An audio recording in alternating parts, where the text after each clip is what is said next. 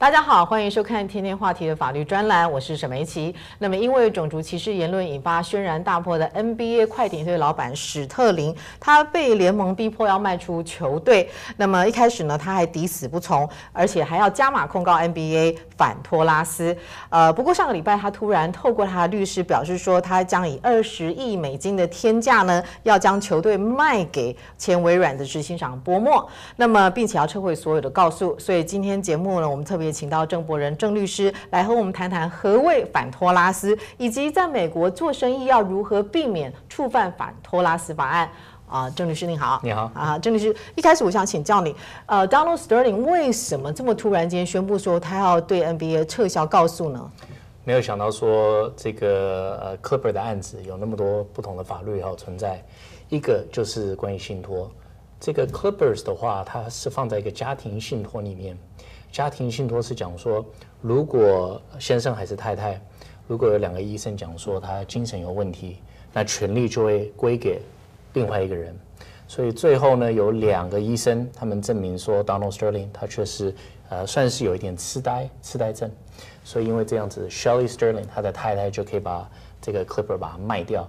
那在卖掉的时候，NBA 就做了一个算是一个手脚还是一个手段，讲说如果最后他的先生告 NBA 的话，那如果告 NBA，那他的太太 Donald Sterling 的太太就要垫全部的责任、损失跟律师费用。所以几乎的话就是，呃，Donaldson 如果他想告，就是变成说他告他自己，告他自己的家庭。最后他跟他律师谈了以后，律师也跟他讲说，呃，不管说您有呃呃好的原因去告 NBA，你最后如果您告你自己的话，不值得。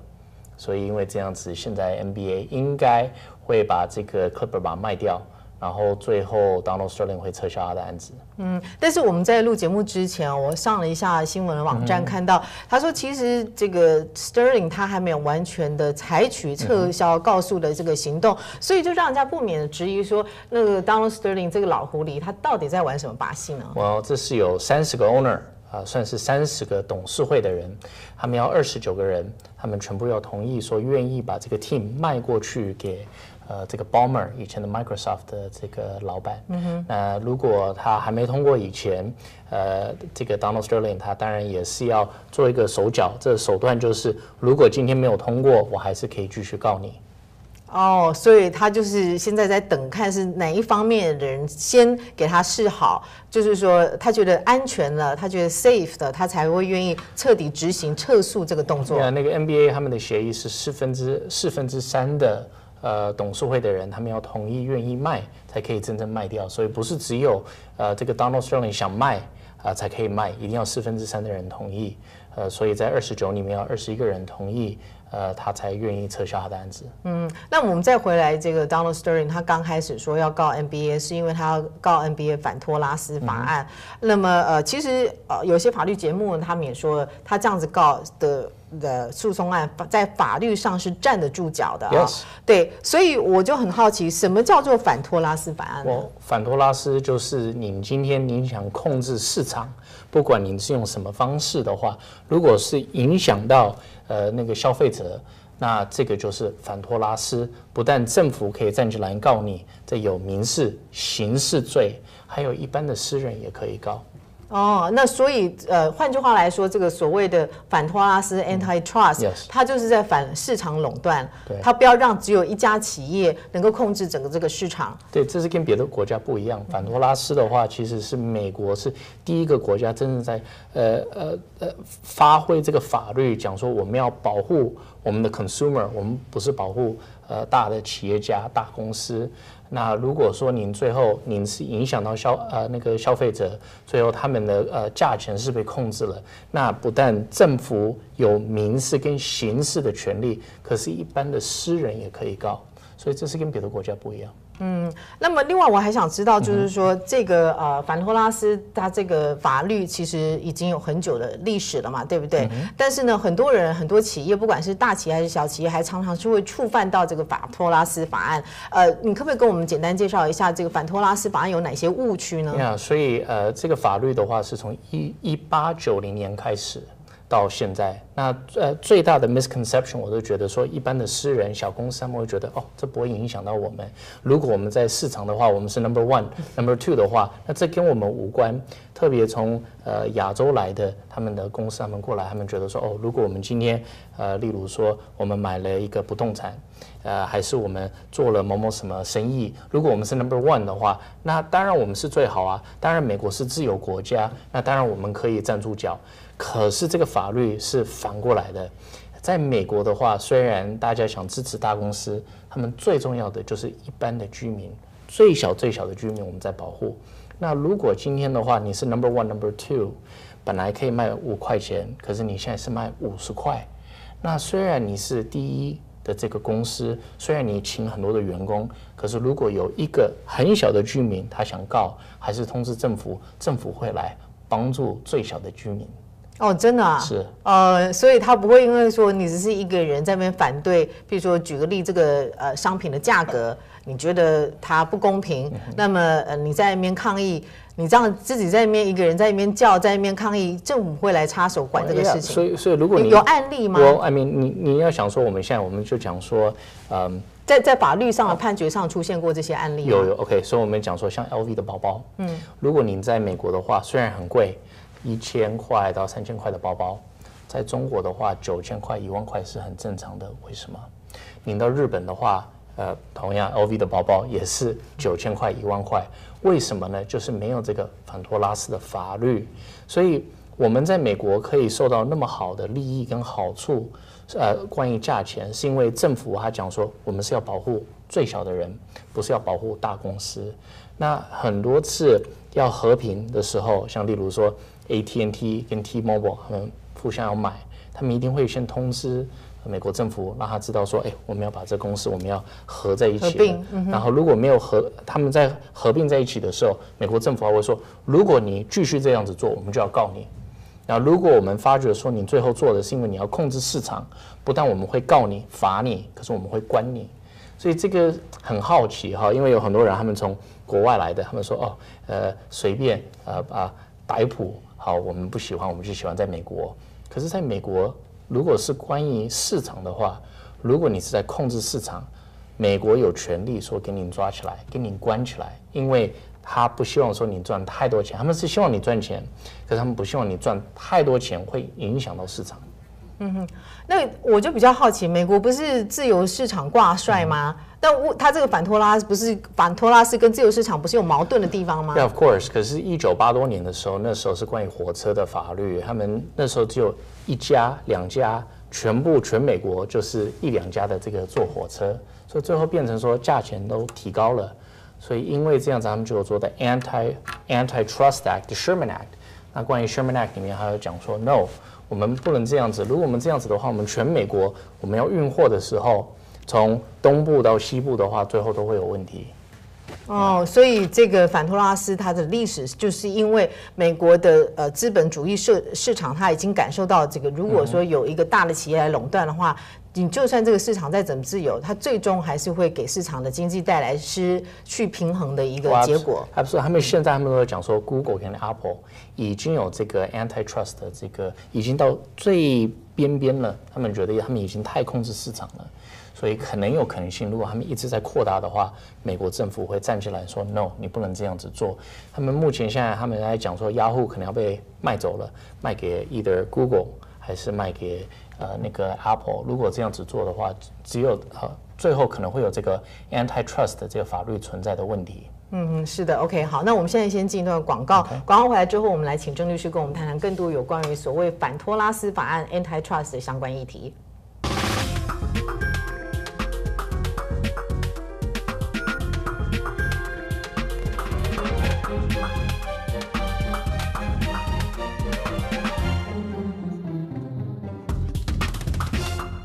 呃，欢迎回到天天话题法律节目现场。那现场请到的嘉宾是郑博仁郑律师。郑律师，刚才在进广告之前，你我们提到这个反托拉斯法案啊，那么你你有提到几个反托拉斯法案的误区，也解释的非常的清楚。那我现在想知道，就是说这个小商家他要依他可以依据的反托拉斯的法案来告大企业，大概有哪些？譬如说像价格啦，或者是说这个市场的垄断呐？Yeah, of course. 呃，目前的话，很多的华人他们。过来美国的时候，呃，关于金子 （diamond） 跟 gold，他们发觉在美国，特别在呃洛杉矶西边这里是犹太人控制的，价钱什么都是他们在控制。他们已经开始在谈说，如果我们一直呃一直这样子做生意的话，我们做不下来。他们有考虑说要告很多的犹太人，觉得说，因为他们在控制这个市场，价钱都控制了，呃，所以我们真的我们一般的呃居民的价钱呃算是不够低。他们有在考虑说要告，那呃，如果他们真的提出告诉的话，他的胜诉有多胜算有多少？呃，这是一般的。如果说是私人告的话，成功率当然会比较低。呃，如果说是政府有站进来，成功率一定都会比较高，因为他们的证据、他们的设备、他们全部他们可以用的呃政府的工具去跟呃呃一般的市场打官司的话会比较好。可是有很多华人、很多客户，他们讲说，呃，珠宝店他们在亚洲做得很好，最后来美国都被犹太人呃算是打死了，呃，所以他们有考虑说，呃，如果有告的话，可能性会不会赢？因为有不同的反托拉斯嘛，一个是控制价钱，好，关于呃呃关于一般的居民，还有就是控制 supply。啊，如果今天进呃那个 gold 还是呃 diamond 有进到美国的时候，他们觉得如果他们有限制这个市场，那当然价钱就会慢慢提高。呃，OK。那那那我另外我想知道，你说到价格，我就是呃知道很多华人早期到这边来的时候，他们是开那个 grocery store 啊。那呃现在虽然比较少了，可是我因为这个法律还是存在的，所以不管你做哪一种生意，如果你是小商家的话，你肯定会受到大企业的影响。我为什么要举这举这个 grocery 就是呃杂货店来作为案例？就是因为像你如果 Papa and Mom store，你的卖的汽水，你肯定价钱会比呃沃尔玛卖的高嘛，对不对？那在这种情况之下的话，我今天如果是一个小 grocery store 的 owner，我可以告这些大的呃，譬如说 Target 啦，或者是呃 wama，说他们的汽汽水价格定的太低，害我没有办法卖到我想要的价格。他们可以这样子做，可是反托拉斯的那个法律有一点模糊。然后，如果呃，你一定要花很多律师费用跟时间，一般这种案子都是一年半到两年，十几万到一百啊一百多万的律师费用很正常。所以一般的比较小，算说是小公司，他们虽然他们可以看到不公平，可他们没有办法去辩护，所以变成说很多次他们是要控告给政府，让政府站在我们一般的居民的呃这个原告人的这个角度，帮我们的居民告。一般的私人他们是可以。可是因为时间跟钱很限制他们，他们就没有办法自己做这种案子。但哦，我知道，其实在美国，class action lawsuit 也是集体诉讼案，也是非常的受欢迎啊。那如果说我今天集结了我这个区所有的小的这个杂货店的 owners，然后一起来告沃尔玛的话，我的案子的胜算会比较高呢？呀，当然会比较高。呃，困难不是呃困难，我觉得不是情况，情况我们已经知道了。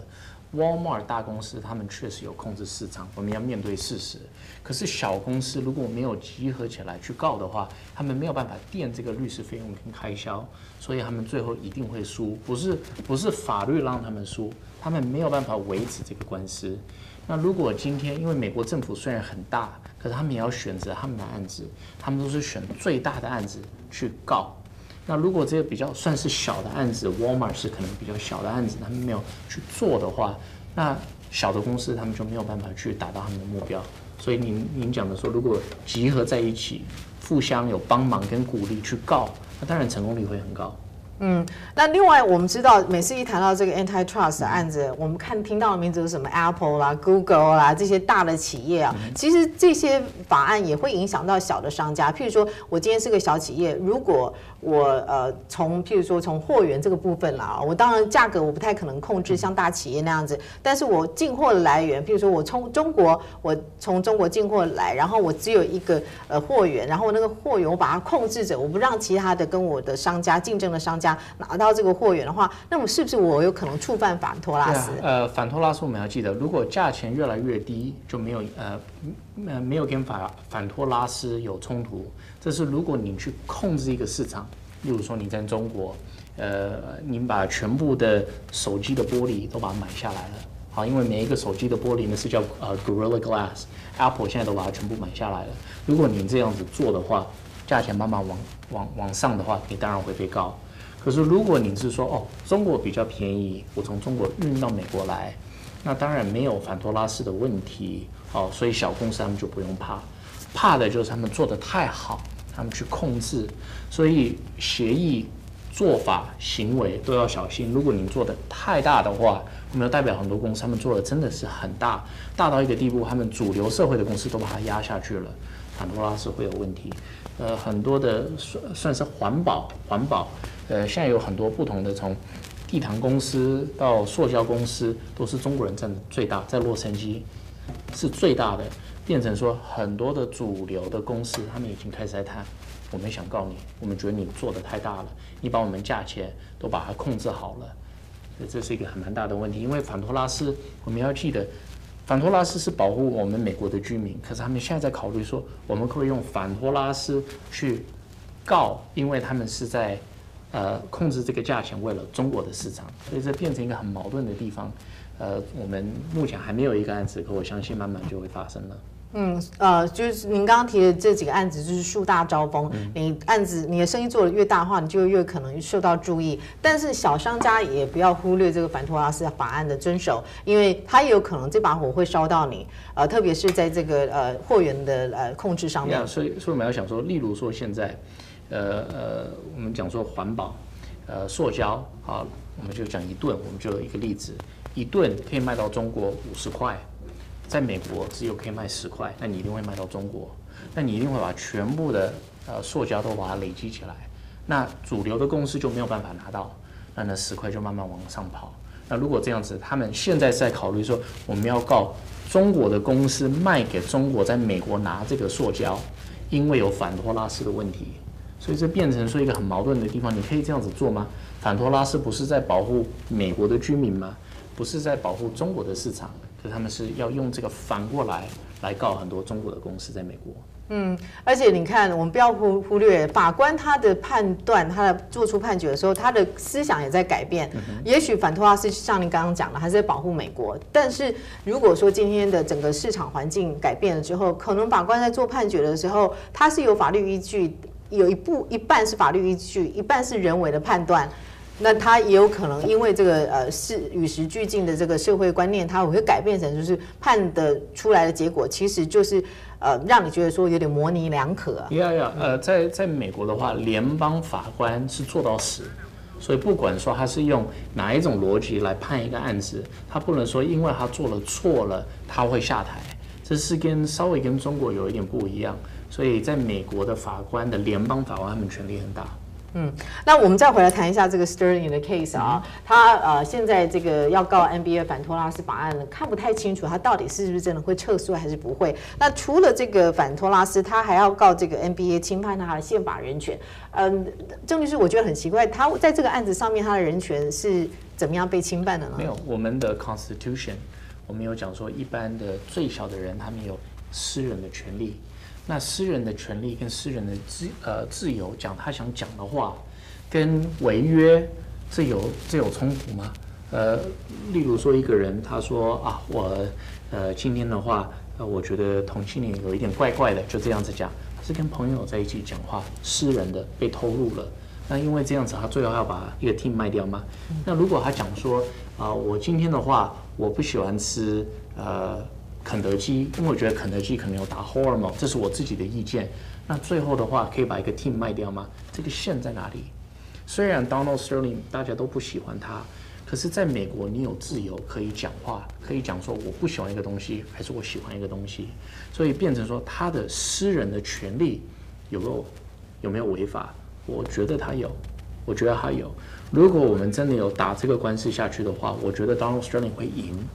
可是 NBA 就很聪明，让他太太把这个 team 卖掉了，跟他太太讲说，如果先生告我们，你要垫我们的律师费用，你要垫我们的损失。他太太说好。那虽然他们可能好像有分居，可他们没有正式的离婚。最后变成说，Donald Stern 如果告 NBA，就是告他自己，因为他的太太要垫这个律师费用跟损失。他太太为什么要答应啊？我很好奇。我他的太太的话，team 已经放在信托里面了，那他也很想把这个 team 卖掉。为什么呢？因为最后如果你的呃呃最后的董事会他们逼你卖。